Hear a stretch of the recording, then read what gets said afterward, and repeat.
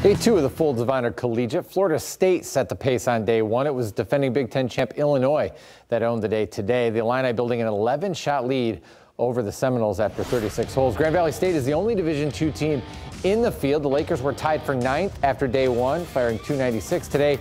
GV shoots 300. It was windy again. Charlie DeLong, the team's top player, started the day tied for second. He shot an even par 72 and is still two under. That's four shots off the lead and tied for six. But this week really is about the cause and what everyone is playing for, and that is raising money for families of fallen soldiers.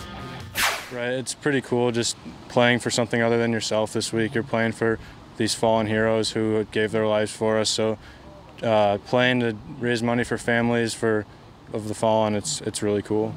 Um, it's yeah, it's a pleasure to play in this. It's an honor to play in this just because it's going towards such a great cause. And it's been phenomenal. The conditions have been just all around perfect. Florida State's Brett Roberts with the round of the week today, a 4 under 68, including an Eagle 3 at the sixth hole. He's tied with round one leader Jonathan Yawn, who shot 69 for the second straight day. Illinois has four golfers in the top 11, the big reason why they've built such a huge team lead. The DeLong started the day on fire with three birdies in his first four holes, had it to five under but four back still alive heading into the final round.